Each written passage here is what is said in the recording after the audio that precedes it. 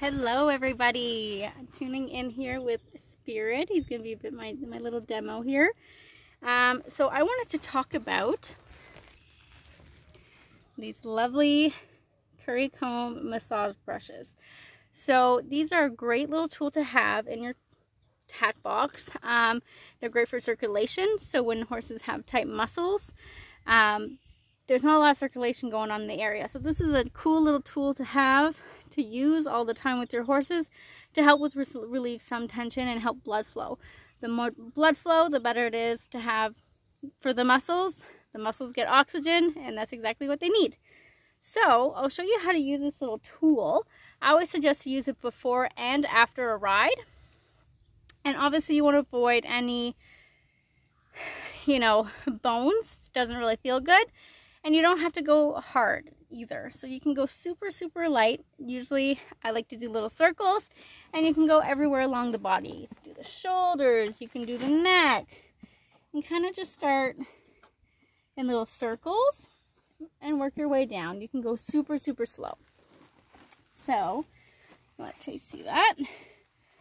Show you kind of on his back here. And you're going to see them kind of release some tension. I know I've been doing this for a little bit. Soft eyes. You're going to see them release a lot. So this is definitely something that they really, really enjoy. Again, go super slow in circles. Work your way down. You can go really, really anywhere. um, my little helper Chase here. And you can work your this is what having horses is. buddy. He very much wants his turn.